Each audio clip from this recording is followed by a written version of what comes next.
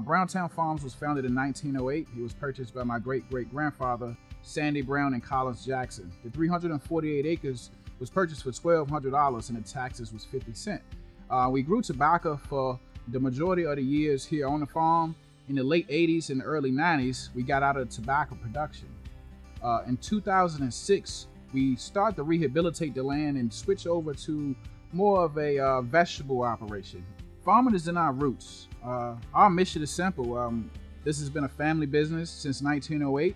I graduated college. I majored in agriculture business, and I wanted to come back home to the farm to keep the family farm going. So um, we do it for passion. We do it from our tradition. We do it because of history, and we do it because customers love locally grown produce. We love to give back to the community and, and just allow them to have an outlet to experience farm life through agritourism. Consider a career in agriculture because agriculture is responsible for three things that's food, clothing, and shelter.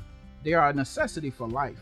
Uh, without agriculture, the world stops. So, you know, far as being secure and doing something that you love and being outside and just kind of being free and getting in tune with nature, I think agriculture is a great way to go far as a career choice. In preparation for looking ahead at a career in agriculture, it's always good to partner with another farmer or go to outreach events hosted by Virginia State University or other land grant institutions um, in the state or other states. I would say definitely just try to get some kind of educational component. Um, it doesn't have to be a four year degree, but now Virginia Tech has a two year agriculture program that a lot of students um, attend and come back to the farm and try to uh, take control of the farm and do it in a better way and, and, and kind of be innovative. I think these days we have to be innovative in farming. We have to kind of utilize the traditional methods, but take it a step further and, and, have some innovation and have a way to allow farming to go to the next level. We have local customers.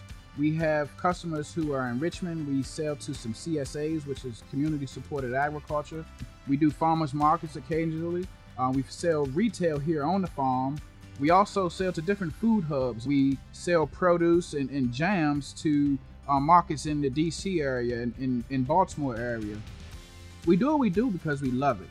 Uh, we love farming it's it's in our roots. It's it's something that we've um, always done.